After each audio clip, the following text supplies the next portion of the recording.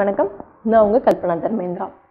தி great Kapil Dev இந்த பேர் சொன்னோடனே நம்ம எல்லாத்துக்கும் கிரிக்கெட் கண்டிப்பாக ஞாபகத்துக்கு வருங்க. கிரிக்கெட் பிடிக்காதவங்க இந்த உலகத்தில் யாருமே இருக்க மாட்டாங்க.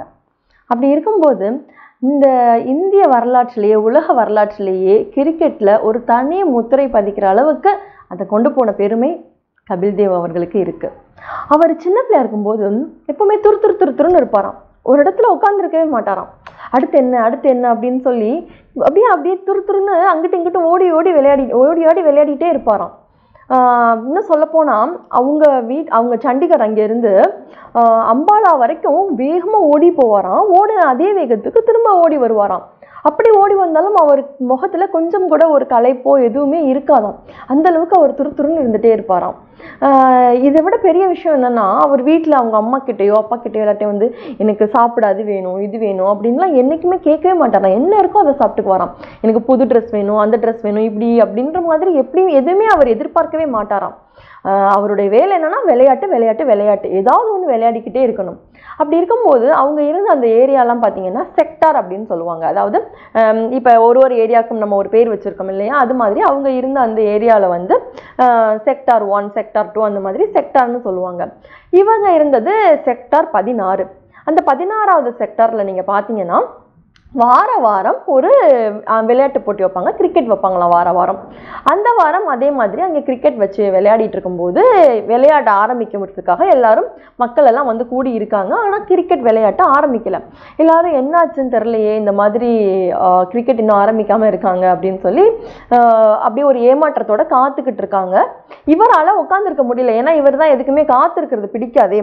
அதனால இவரால் உட்காந்துருக்க முடியல. ஐயோ என்னடா இது இப்படி பண்ணுறாங்க அப்படின்னு சொல்லிட்டு அங்கே போய் கிரிக்கெட் விளையாடுறவங்கலாம் அங்கே ஒரு இடத்துல இருப்பாங்க இல்லையா? அவங்கக்கிட்ட போய் நம்ம போய் கேட்டுடலாம் அப்படின்னு சொல்லிட்டு என்னாச்சு? ஏன் இன்னும் கிரிக்கெட் ஸ்டார்ட் பண்ணாமல் இருக்கீங்க? அப்படின்னு சொல்லி கேட்டிருக்காரு.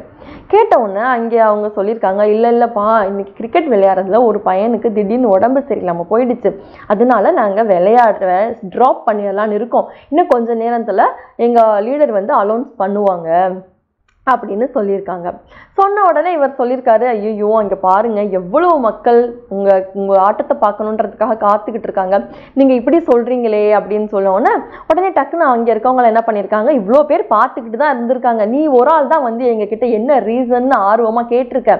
சரி ஒன்று பண்ணுறியா நீ வந்து அந்த ஒரு பையனுக்கு பதிலாக நீ சப்ஸ்டியூட்டாக வந்து சும்மா நின்று போதும். வேற நீ ஒன்றும் செய்ய வேண்டாம். அந்த ஒரு ப ஒரு ஆளுக்கு பதிலாக நீ வா அப்படின்னு சொல்லி கூப்பிட்டுருக்காங்க. இவருக்கு உண்மையாக சொல்கிறாங்க இவருக்கு கிரிக்கெட் வந்து அந்த வயசில் விளையாட தெரியாது. அப்போ அவருக்கு பதிமூணு வயசு. அவர் கிரிக்கெட் வந்து அந்த அளவுக்கு விளையாண்டது கிடையாது.